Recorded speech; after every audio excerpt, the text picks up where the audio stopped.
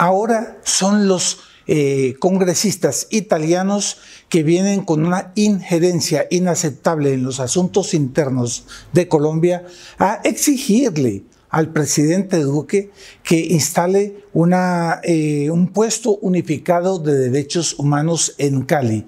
Pero el pueblo caleño no se hizo esperar y le dijo fuera es el comienzo del rescate y la restauración de nuestra querida Colombia. Los colombianos no vamos a aceptar que con ese eufemismo de derechos humanos nos quiten nuestra patria y la transformen en una dictadura comunista. Mi nombre es Luis Fernando Escobar. Quédese bienvenido para este canal del, del Centro Cultural Cruzada. Vamos a analizar el fondo de esta noticia.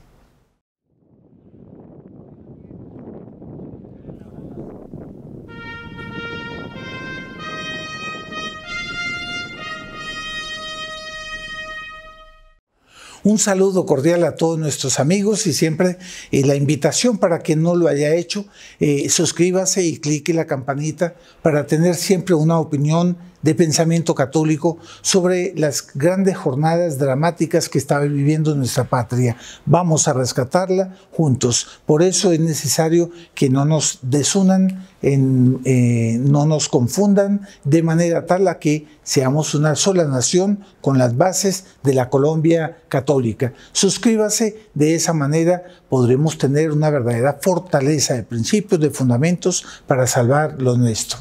Ahora vamos a hablar un poco sobre esta noticia que me parece que vale la pena eh, ponerla en destaque. La noticia de la revista Semana dice, congresistas italianos le exigen al presidente Iván Duque permitir la instalación de un puesto unificado de derechos humanos en Cali. Le exigen, ¿con qué derecho? Si ustedes son italianos, disculpe, pero usted no es colombiano, usted no tiene derecho a exigir nada aquí.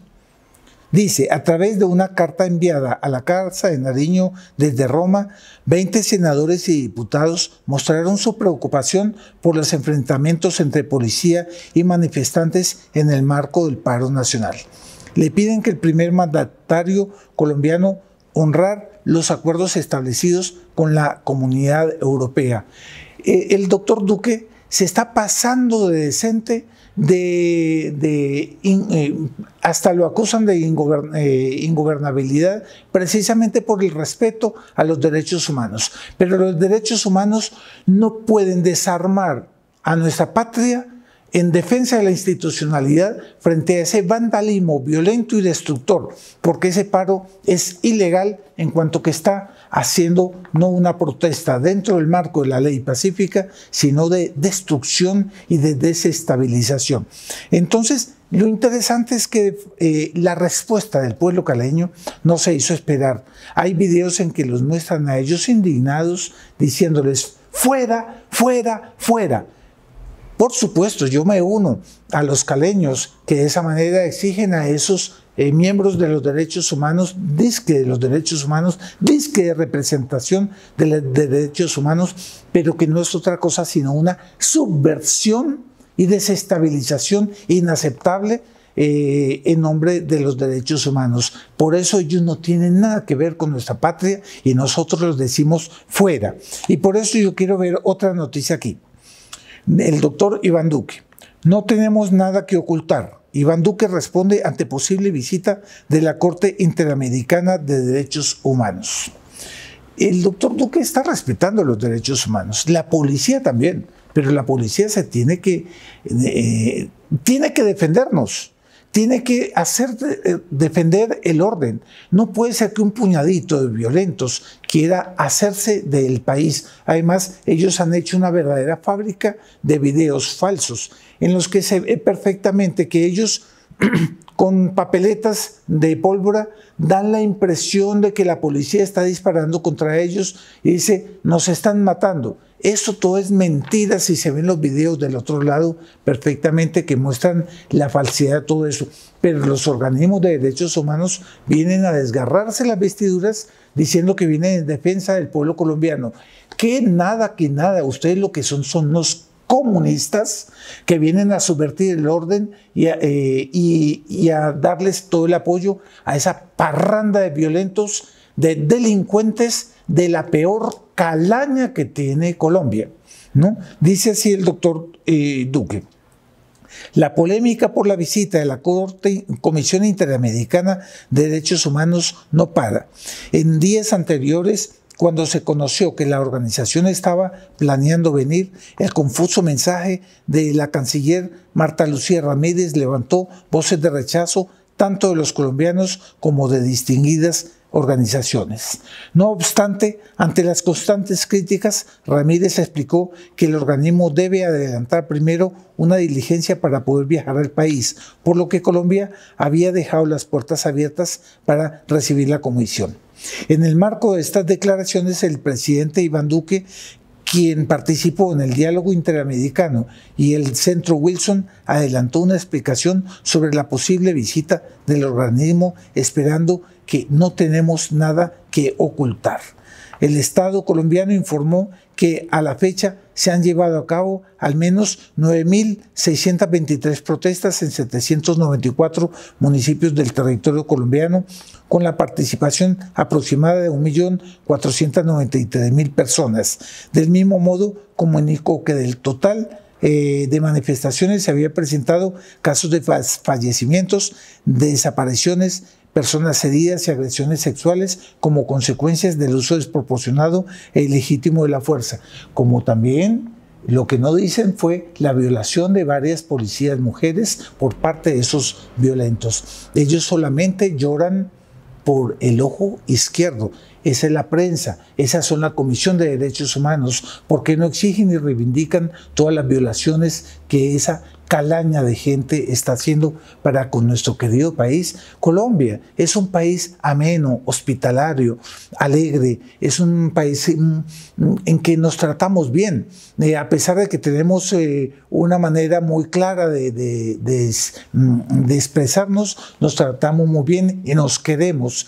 Toda esa gente viene a traer odio, pero toda esa gente es organizada por dinero y por líderes del exterior y por un poder oculto supranacional que está por detrás para apoyar toda esa delincuencia. Me acuerdo un poquito lo que pasó con el régimen del terror en Francia. París se llenó de eh, las peores mujeres, prostitutas, delincuentes, y esa fue la gente que mataba, cortaba las cabezas en el régimen del terror en la Revolución Francesa.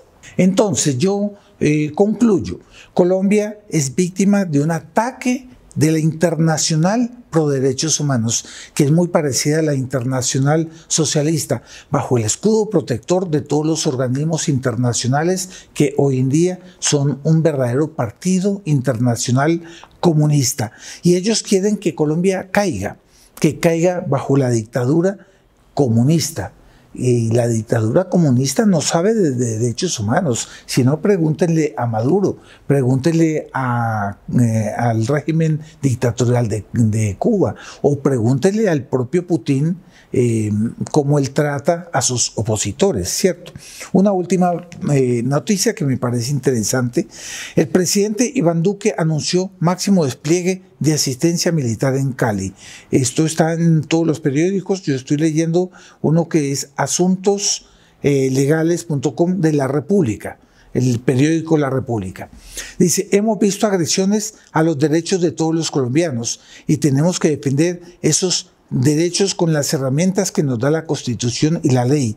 Claramente, el día de hoy, visto hechos, hemos visto eh, hechos dolorosos, personas armadas disparando, un testimonio tan, también cruel y doloroso de un linchamiento. A partir de esta eh, noche comienza el máximo despliegue de asistencia militar en la ciudad de Cali y en el departamento del Valle. Y saludamos al presidente que ya se demoró un mes después, es decir, todo comenzó el 28 de abril y solo el decreto 557 fue firmado el 28 de mayo.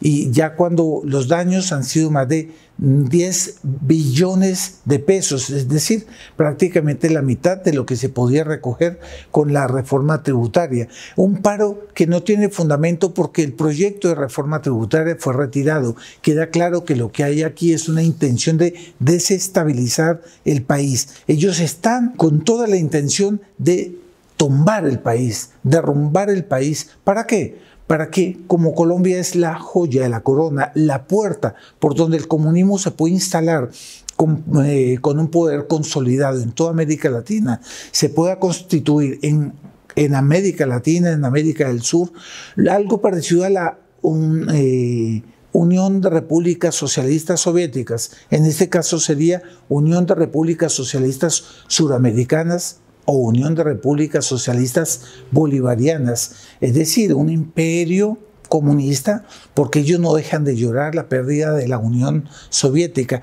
Ellos quieren ahora una nueva lucha de clases hemisférica, los países pobres contra los países ricos, de manera tal avasallar al mundo en el nuevo orden mundial. Doctor Duque, fuerza y valentía no podemos aceptar. Aplique el artículo 500, el, decreto 557 y restablezca el orden porque todos los colombianos comenzamos a levantarnos, a ir en marchas pacíficas, educadas, categóricas, eh, expresando nuestro deseo de esa Colombia de bien que no la vamos a entregar, porque esta Colombia pertenece al Sagrado Corazón de Jesús y nosotros sabemos que por encima de las intenciones de ese internacional comunista, de ese poder supranacional, nosotros tenemos a la Santísima Virgen que con esta arma lo vamos a derrotar. Colombia será siempre católica y a usted yo le invito este es el momento histórico. Yo lo invito a que usted se una a Articulación Colombia, que voy a colocar el link aquí abajo, ¿cierto? De esa manera también queremos que usted nos ayude porque vamos a sacar muchos jóvenes católicos, amantes de nuestra querida patria Colombia, para hacer caravana difundiendo manifiestos explicando a la población qué es lo que está pasando y esa intentona de un segundo Bogotazo para tomarse a Colombia a favor del comunismo y a América Latina a favor del comunismo de manera tal hacer una presión hemisférica y global. No lo vamos a permitir. Entonces estos jóvenes van a ir casa por casa, ¿no? Con de ser católicos para esclarecer y orientar a los colombianos de bien a que formemos un solo bloque y salvemos nuestra patria. De usted depende también que esta patria tan bonita de Nuestra Señora de Chiquinquirá y del Sagrado Corazón de Jesús que ya comenzó el mes de junio, que está en nombre de aquel eh, dueño y Señor nuestro, que es el dueño a quien consagramos nuestra patria, el Sagrado Corazón de Jesús. Muchas gracias.